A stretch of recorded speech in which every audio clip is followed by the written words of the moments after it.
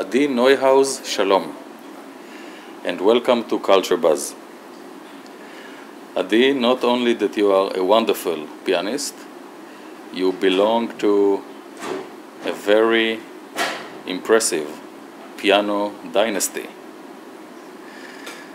Adi, can you tell us a bit about yourself, about your music? Yes, and I'm 16 years old from Ariel. I'm studying in the Jerusalem Academy Conservatory. And uh, Who are your favorite composers? composers Bach, Chopin, Liszt, Scriabin, Rachmaninoff. Okay. And we know that you have already performed abroad, also a recipient of uh, several awards, and uh, quite soon you will go to Verbier Festival and be one of eight pianists from all over the world in the academy with another Israeli pianist. Yes.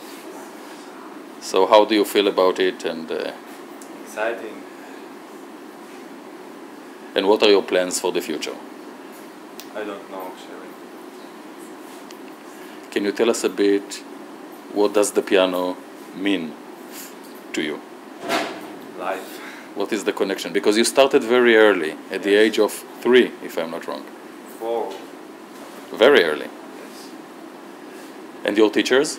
What can you tell us about your teachers? Oh, my teacher is Lea Agmon in the conservatory. She's an amazing person, a musician, teacher. Wonderful, Adi.